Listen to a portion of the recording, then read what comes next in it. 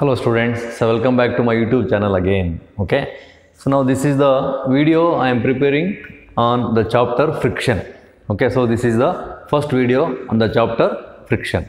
Okay, so let us try to understand now what is the importance of friction in the introduction part first. Okay, as I mentioned here, force of friction is very important in our daily lives. Okay, so we have to understand how much important is the friction in our daily life first okay.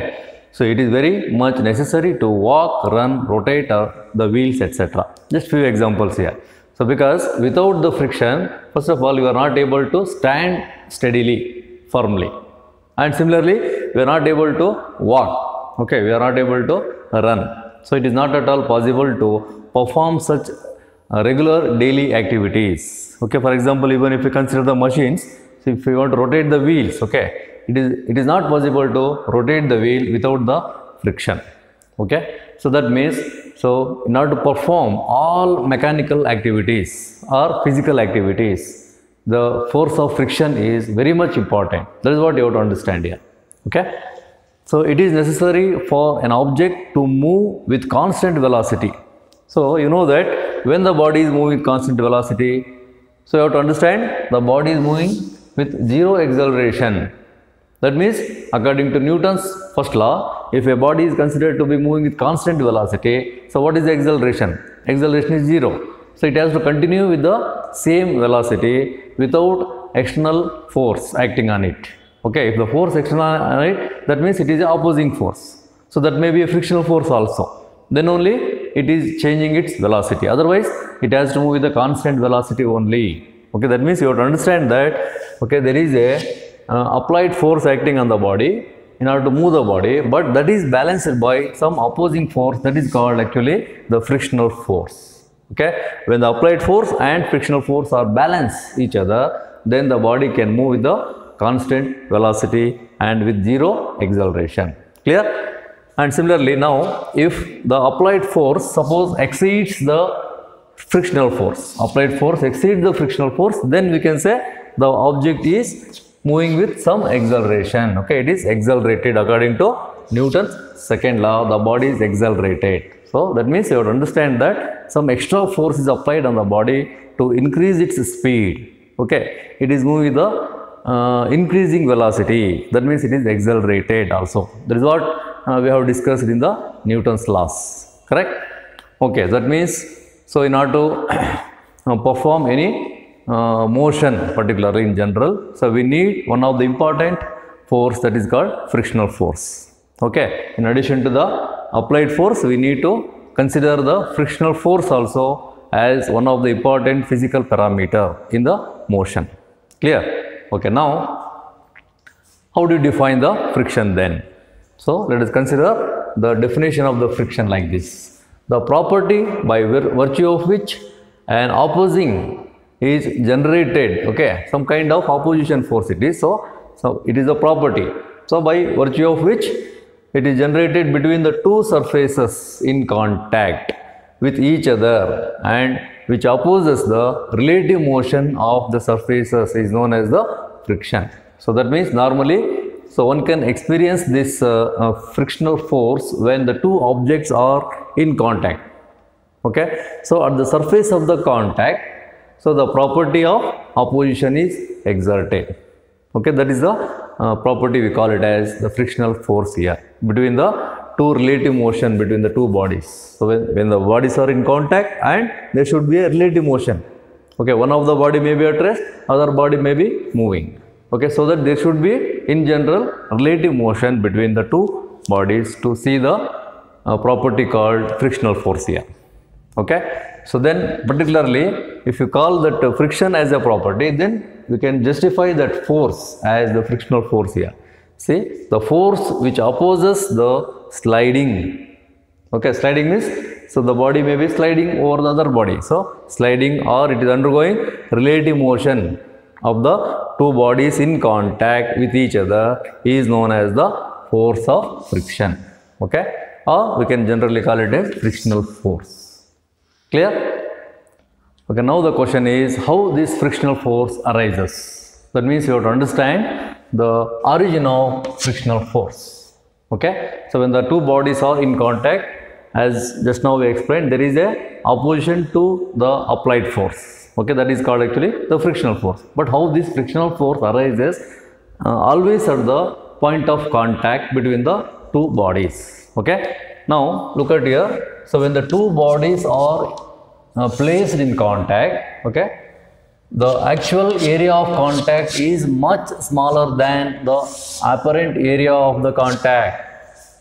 You think that when the two bodies are uh, in contact, the total area will be considered as the area of contact, right? But that is not the case. If you look at microscopically between the two bodies which are in contact, okay, so that actual contact area is much smaller than the apparent area what you calculate. Why? That is because, see, look at the surface of contact microscopically. Okay, if you observe microscopically, so only there are some sharp edges because none of the surfaces are perfectly smooth. Okay, you can't consider the perfect smooth body at all. Microscopically, you can observe that the surface is consisting of this kind of see the sharp edges, sharp edges we can say. Or some deep valleys and hills. We call it as hills and valleys also. Okay. So the when the two bodies are in contact then so these sharp edges are, are only in contact.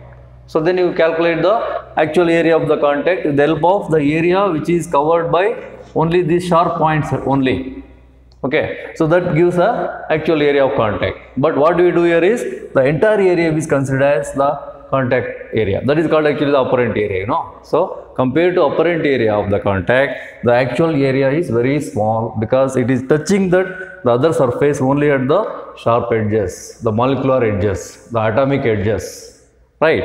So because of that the two bodies are interlocked each other okay? So there will be a molecular adhesion take place. So that is called actually the surface adhesion or molecular adhesion takes place between the two surfaces. Okay? So that is very important to be observed here. So the surface of any body is never perfectly smooth and the and uh, it appears to be welded to each other. Okay? It appears to be welded to each other at the sharp points due to high pressure. When it is kept on each other due to weight okay? Due to high pressure they interlock each other.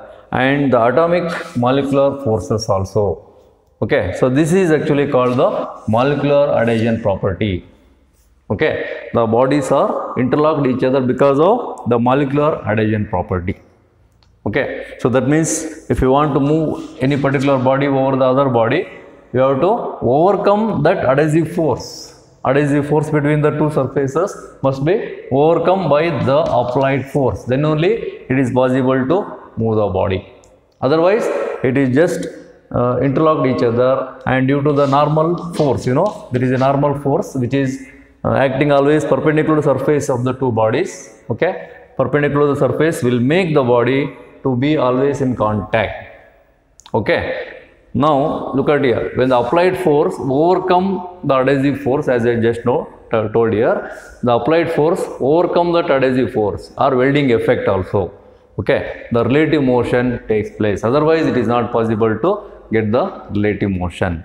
Okay? So that frictional forces are the electrical origin you have to understand because it is intermolecular we said you know so it must be electrical origin hence there is always an opposition to the relative motion between the bodies. Okay that is the cause. So why there is a relative motion between the two bodies? Because of this kind of surface adhesion or molecular adhesion. So it is uh, we need to apply some additional force to get the relative motion. So that is what actually opposed by this adhesive force we can understand here. Okay the opposing force that opposing force is known as the force of friction okay? Now this force of friction depends on three important parameters here. So what are that? The the nature of the two surfaces in contact. Because the frictional force is not same for all the bodies. On what type of body we are uh, surface of the body we are keeping the other body. You have to look at the surface whether the surface of the body is very smooth or or it is very rough. Okay? So depending upon nature of that surface of the body we see the uh, magnitude of the frictional force. And similarly it also depends on normal force with the surface. Okay because as i told normal force is the force which is making the body to be in contact always. Okay the surface uh, perpendicular surface uh, perpendicular force we can say as the normal force here. Okay depends upon that normal force with the surface. And similarly it also depends upon the actual area of the contact okay? If you take a small body on the surface it is easy to pull it because uh, area of contact is very small. If you take the same body in the bigger size so that the area of contact increases and then we need to apply larger force to pull it over the other surface. So it depends upon of course on the area of contact also. Okay now let us see how this uh, uh, friction is a self-adjusting force. Okay? Friction is a self-adjusting force. So look at the uh, figures here to understand how the force that the frictional force is actually uh, is increasing from zero. Okay when the frictional force is said to be zero you know say when the two bodies are in contact okay so body is at rest. We say that the body is at rest on a, a platform. So now so the force between the, these two bodies at the surface of the contact is said to be zero. So there is no frictional force okay actually the body is uh, uh, standing on the other body with the help of its weight isn't it? W is equal to mg and it is uh, equivalently opposed by another force that is called normal force perpendicular to the surface.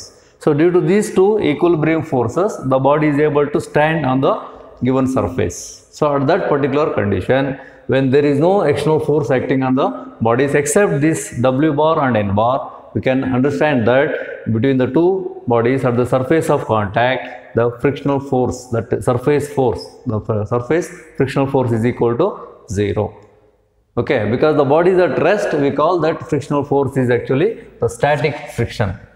So the static frictional force is said to be 0 in this particular condition. Now let us consider the same situation with the application of some small force acting on the body. You just apply a small force okay so that the body should not move. Okay the body is still at rest. Then you cannot say that the static friction is zero here. Okay so the frictional force is already increasing from 0 to some value but still it is less than mu s into n. What is this mu s into n? You know? So the coefficient of static friction mu s and n is the normal force. Okay so mu s because this equation is obtained by the definition of uh, coefficient of static friction. Mu s is equal to fs by n by cross multiplication fs is equal to mu s into n. So but magnitude of this static friction is less than this mu s into n and hence the body is still at rest with the application of a small force. That means the applied force is not sufficient to pull the body.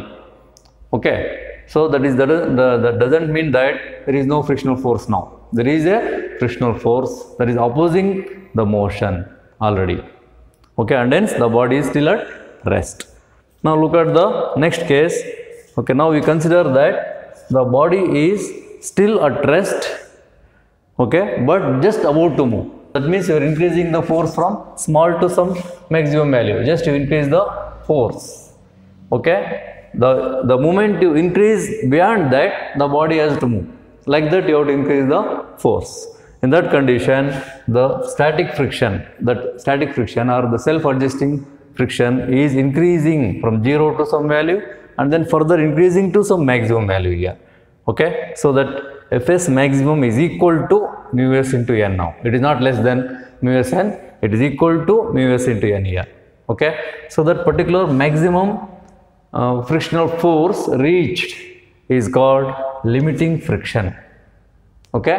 So just beyond that the moment you increase little bit force beyond that then the body is started to move. Okay? So that is why it is called the maximum uh, frictional force is called limiting friction. The body is still at rest of course but at any time it is about to move. Okay?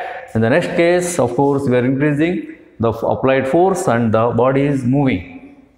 Okay? Once the body is moving it is crossing the limiting friction and it is entering into the other type of friction that is called actually fk what is that fk you know? That is called kinetic friction. Kinetic friction. So like that the body is changing its force. I mean uh, the frictional force is going to be increasing from 0 to some value okay and to maximum value and then to kinetic friction okay. So like that you can say the frictional force is self adjusting force depending upon the applied force. When there is no force fs is 0 when the applied force is small then there is a static friction already started to increase and then reaching to maximum and then become kinetic friction during the motion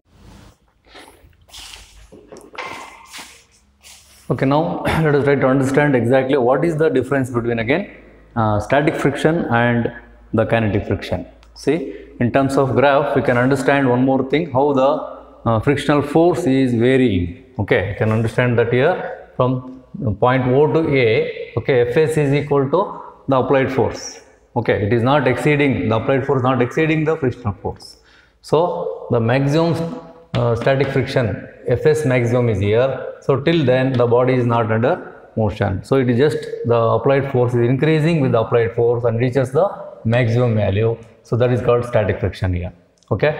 Till then, so it is in the region called static region only. The moment you cross the maximum limit, the applied force is exceeding the limiting friction, then the, the force of friction is decreasing gradually. Okay, but it is not uh, smooth decrease. Okay, because of the rough movement on the surface. Okay, it is decreasing like this up to the point B. Okay, then it reaches to the complete motion here. That is called kinetic friction region. From this point, we can understand that it is the body is in motion. Okay, till then it is opposing the applied force with a uh, slight force. That is slight frictional force. Okay, so and hence it is called kinetic region only. Okay, beyond this point A up to C, it is a kinetic region. Okay, so now finally we can define that static friction is it is the force of friction between the two surfaces so long as there is no relative motion between them. Right. Similarly, we can calculate the coefficient of static friction based on that. So when the body is at rest particularly, the then according to law of limiting friction, according to law of limiting friction, the magnitude of the limiting friction is always directly proportional to the normal reaction. Here you go through the coefficient of static friction and with the expression mu s is equal to fs maximum by n. Similarly, coefficient of kinetic friction is mu k by n. Okay, please go through these expressions. Then I will see you in the